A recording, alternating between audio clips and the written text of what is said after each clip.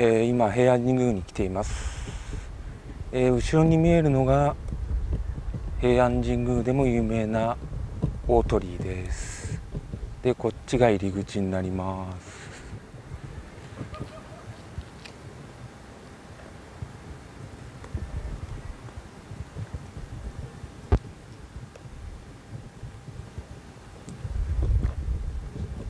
今から中の方に行きたいと思います。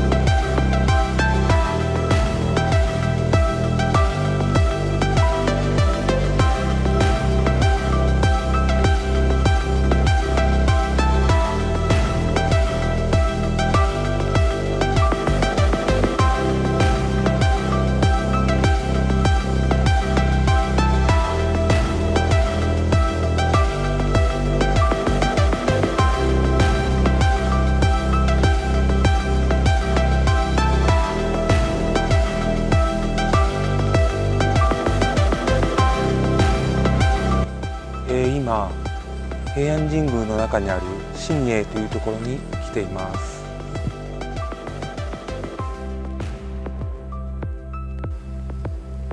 こんな感じで。